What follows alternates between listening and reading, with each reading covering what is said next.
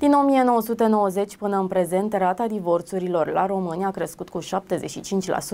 Asta arată un studiu realizat de Școala pentru Cuplu în perioada octombrie-decembrie pe un eșantion de 1000 de participanți. Mai mult de jumătate din căsătoriile desfăcute prin divorț se încheie prin acordul părților. Cele mai frecvente cauze ale despărțirilor invocate de parteneri sunt infidelitatea, alcoolismul și violența domestică. Situațiile în care bărbații sunt considerați vinovați sunt de trei ori mai frecvente decât cele în care femeile sunt responsabile de ruptură. Cei cu studii superioare tind să se despartă mai repede decât cei care au doar patru clase. Tot mai multe divorțuri, tot mai multe lume se desparte. Ce părere aveți dumneavoastră despre asta? Of, Asta este problema secolului în ziua de astăzi și na, nu am o părere nici pozitivă, dar nici negativă, cum să vă spun. Deci este un, un pic foarte problematic, mai ales în ziua de astăzi, cu democrația și cu toate lucrurile care există în ziua de astăzi, este normal, dar nu știu, nu prea pot să spun prea mult. fiecare își alege viața și fiecare face cum, cum îi place și cum dorește și cum să simte și este o alegere foarte normală pentru fiecare. Care credeți că este secretul unei căsnicii trainice? Oh, cred că sunt mai multe lucruri. În primul rând, este foarte important partenerul de viață.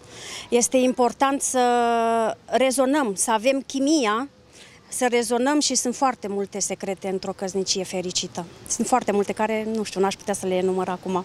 Dar dacă ați avea un sfat pentru cei tineri, care ar fi sfatul acela?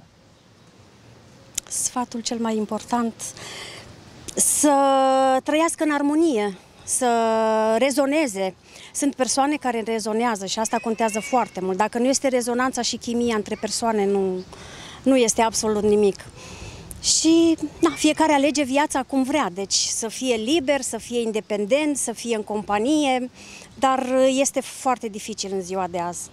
Statisticile arată că cel mai greu iau decizii să divorțeze bărbații cu studii primare, care se hotărăsc în jurul vârstei de 43 de ani. Cel mai repede se pare că divorțează româncele cu studii superioare, la 36 de ani, după cum arată cifrele. Cel mai frecvent se despar persoanele cu vârsta între 30 și 34 de ani, iar cele mai multe divorțuri s-au înregistrat între soții cu vârste apropiate. Cu cât diferența de vârstă crește, stabilitatea cuplurilor este mai mare. Căsnicia celor fără copii este sigură în primii doi ani, pe când a celor cu copii are cele mai mari șanse să reziste în primii patru ani. Care credeți că ar fi problema?